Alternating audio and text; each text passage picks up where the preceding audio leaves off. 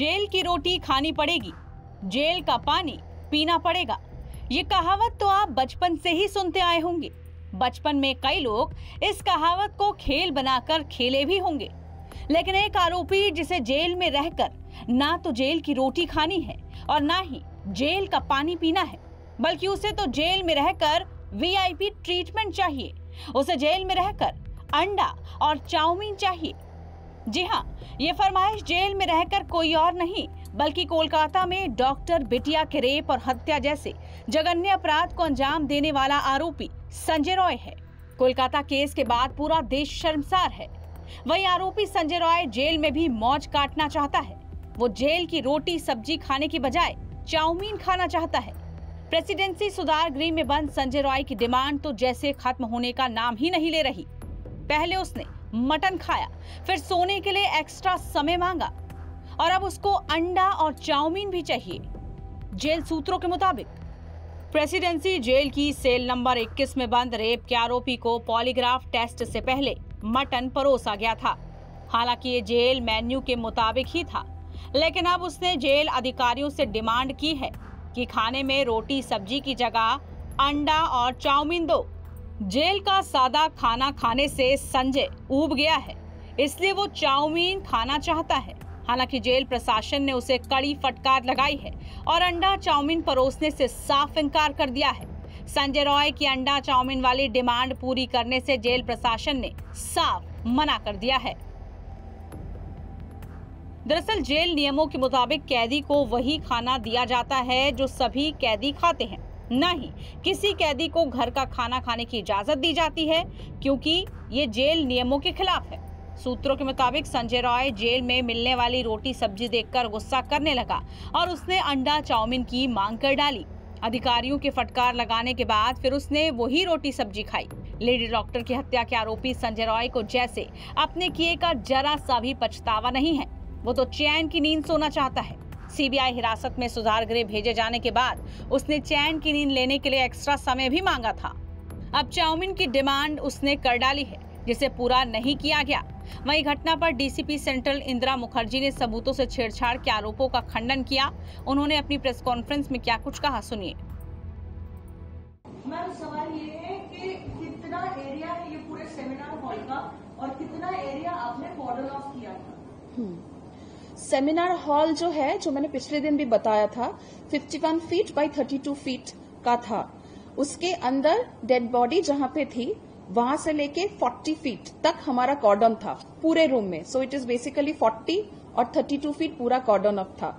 जो भी प्रोसेस जो इन्वेस्टिगेशन टीम को करना होता है, मान लीजिए सीज करना हो इनक्वेस्ट करना हो फॉरेंसिक ऑफिशियल्स का आना हो, या जुडिशियल मैजिस्ट्रेट को रहना हो या किसी को वहाँ पे डेड बॉडी शिफ्टिंग करने के लिए सामान लेके आना हो, ये सारी चीज़ें जो है उस 40 फीट के अंदर हुई थी। ये कॉर्डन हमने साढ़े दस बजे तक लगा दिया था। हमको दस बज के दस मिनट तक खबर मिल गई थी। तो इंस्टेंटली हमारे लोगों ने जाके कॉर्डन ऑफ़ कर दिया। और कॉर्डन ऑफ़ करने के बाहर वाली जो जगह है, जो कि सेमिनार हॉल के अंदर है, वहाँ पे पेरेंट्स के आके बैठना जो इमरजेंसी में जो मेडिकल ऑफिसर जो ब्रॉड डेड डिक्लेयर करता है, उनका जो बैठ के लिख के जो डिक्लेयर करना होता है, वो तो इमरजेंसी में ही रहते हैं। लेकिन उनको भी जूनियर डॉक्टर्स ने या वहाँ पे जो हॉस्पिटल के जो लोग थे, उन्होंने सबने रिक्वेस्ट किया था कि ये सारी चीज़ें जो है, जितना भी पेपर वर्क है, वो उनके सामने होना चाहिए। इसीलिए वो जगह जो है, उनके लिए अलग से हमने अरेंज कर दिया था कि वो लोग वहाँ पे ये सब काम कर सकते हैं। उन्होंने अपना जितना डिमांड था कि उनको क्या क्या चाहिए वीडियोग्राफी चाहिए, या उनके पास जो है, तीन चार डिमांड जो टाइम टू टाइम चेंज हुए, ये सारी चीज़ें जो है उस एरिया में हुई थी। मैम, जो कॉरिडोर एरिया नहीं था इन्वेस्टिगेशन से पहले हाउस पुलिस सो श्योर कि वो पीओ नहीं है या क्राइम वहाँ पे कमिट नहीं हुआ है, जो सेमिनार हॉल के अंदर का इलाका, जो कॉर्डन ऑफ़ नहीं था? देखिए देखिए अगर हम लोग मान के चलते हैं कि कॉर्डन ऑफ़ हम लोग बार बार इसी चीज़ पे फोकस कर रहे हैं तो देखिए यहाँ पे दो लेवल का कॉर्डन था। एक तो जहाँ पे हमको बॉडी मिली उसके तुरंत ही बाद एकदम बॉडी के सामने वहाँ एक ऑलरेडी कर्टन हमने प्लेस कर दिया था बिकॉज़ आप लोग समझ सकते हैं ये एक डेड बॉडी की डिग्निटी की बात है। तो वहाँ पे एक लेवल का कॉर्डन था और उसके बाद 40 फीट दूर जितनी जगह एक टीम को काम करने के लिए, क्योंकि टीम अकेले तो एक इंसान नहीं आती। वो लोग अपना कैमरा लेके आते हैं, उनका पेपर वर्क लेके आते हैं, उनको जो जो चीज़ें चाहिए वो लेके आते हैं। तो थोड़ी सी जगह उनको देनी पड़ती है। तो इसलिए 40 फीट के वहाँ पे हमने दूसरा कॉर्डन लगाया था। इस कॉर्डन ऑफ़ एरिया के बाहर भी पूरे फ्लोर में मान लीजिए, काफ़ी सारी चीज़ें थी जो हमने देखी। टेक्निकल एविडेंस जिसे बोलते हैं, उसको भी हमने बहुत अच्छे से देखा। एंड जब जब जो जो हमें मिला, हमने हमारे केस डायरी में रखा एंड बाद में जब केस सीबीआई को गया, हमने ये सारी चीज़ें उनको दे दी। कोलकाता के आरजीकर मेडिकल कॉलेज और अस्पताल में ट्रेनी डॉक्टर का शव 9 अगस्त की सुबह सेमिनार हॉल के अंदर मिला था। संजय राय को अगले दिन गिरफ़्तार भी कर लिया गया था। कलकत्ता हाई कोर्ट ने मामले की जाँच 13 अगस्त को कोलकाता पुलिस से सीबीआई को देने का आदेश दे दिया था। सीबीआई ने 14 अगस्त को मामले की जाँच शुरू कर दी थी। तब से लेकर अब तक संजय रॉय अलग अलग डिमांड कर रहा है, जिसके बाद से उसको लेकर कई चौंकाने वाले खुलासे सामने आ रहे हैं। ऐसे ही कुछ खुलासे उसके कई करीबियों ने भी किए हैं। सुनिए।